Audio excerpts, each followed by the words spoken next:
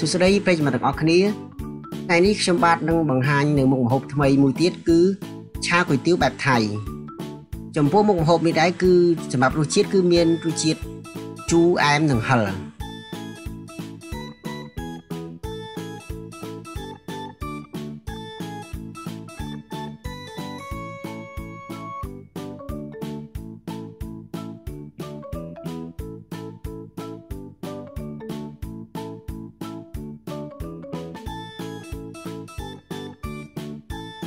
សម្រាប់គ្រឿងផ្សំក្នុងការធ្វើឆាគុយទាវបែបថៃនេះ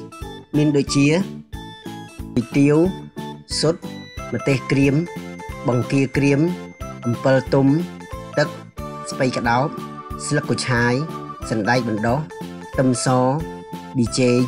អំបិលនិងស្ករត្នោតដូច្នេះសូមប្រិយមិត្តតាមដានពីវិធីធ្វើដូចតទៅ